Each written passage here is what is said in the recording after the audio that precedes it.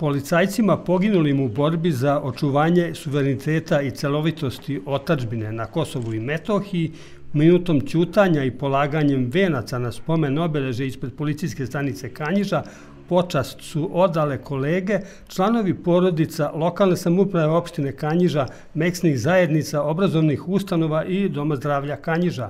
Uspomenu na petoricu poginulih kolega evocirao je predsjednik sindikalne grupe nezavisnog sindikata policije Aleksandar Vuletić.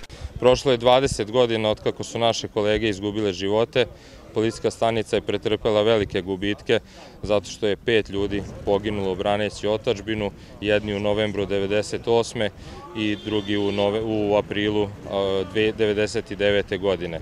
Svake godine se okupimo ta dva meseca postavimo venac u čast, u njihovu čast, a ove godine smo se malo potrudili i organizovali memorialni turnir.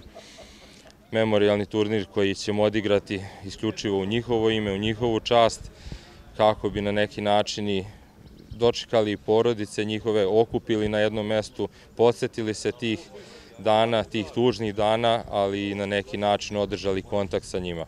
Na Kosovu i Metohiji život za otačbinu dali su Zoran Vrbaški, Goran Sandić, Igor Buš, Željko Raužan i Jelenko Bunić. Svi su oni bili cenjeni i poštovani među kolegama, izuzetno hrabri. E, radi se o ljudima koji su veoma mladi, izgubili živote između 23 i 28 godina.